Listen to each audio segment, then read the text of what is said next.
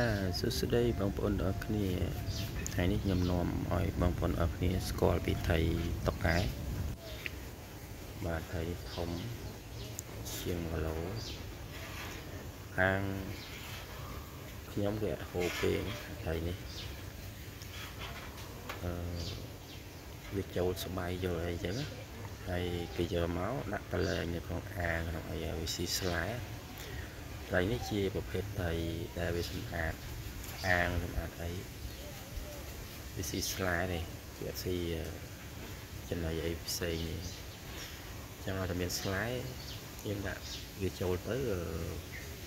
វាស៊ីហើយយើងមិនបាច់ដាក់ចំណីអីទេបាទវាមួយយ៉ាងណា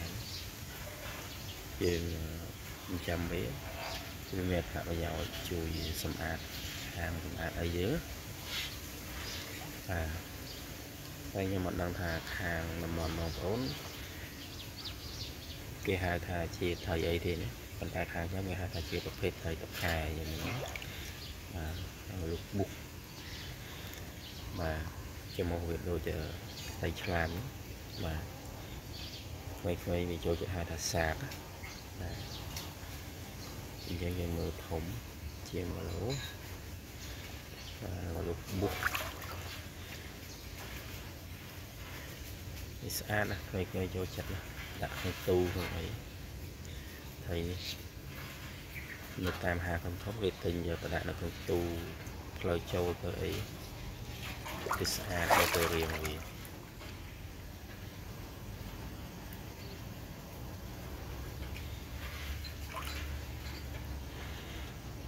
ខេយើងមើល ទំនងខ្នងវាបះប៉ុណ្ណានេះមកពីចំហៀងបាទហើយនេះបើប្រវាយវាប្រហែលជាចូល3ទឹក4ទឹកខាងកតុយធំធំហ្នឹង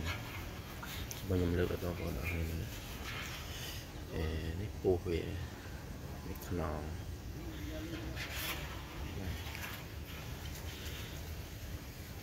មានតំបន់ខ្លះមាននេះថៃនឹងពួកវានៅតាមទន្លេតាមអីហើយខែទឹកសម្រោ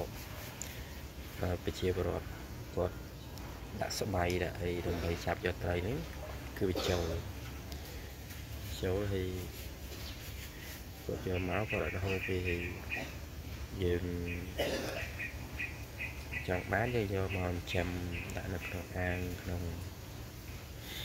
អឺពីទឹកអីចឹងណាដើម្បីឲ្យវាស៊ីស្លែស៊ីអីបាទយ៉ាងណែណាបាទខ្ញុំក៏មិនសូវបានឃើញត្រីនេះនិយាយទៅយូរយូរវាចូលម្ដងហើយហើយ បើសិនយើងកំណាក់ស្បាយទេវាអត់ចូលទេណាលោកថាតែយើងបាចយើងបូមពីបូមផ្លុកអីអឺជូបវាបើយើងចាប់បានយើងមាត់វាមាត់វានៅពីក្រោមនេះហ្នឹងបបបបាទ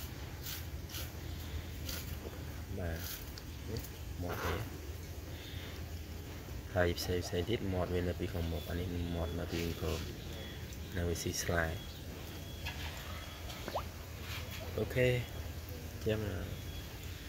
វីដេអូហ្នឹងសូមបង្ហាញបងប្អូនអរគ្នាតាមតែប៉ុណ្ណឹងដើម្បីឲ្យស្គាល់ថាថៃនេះ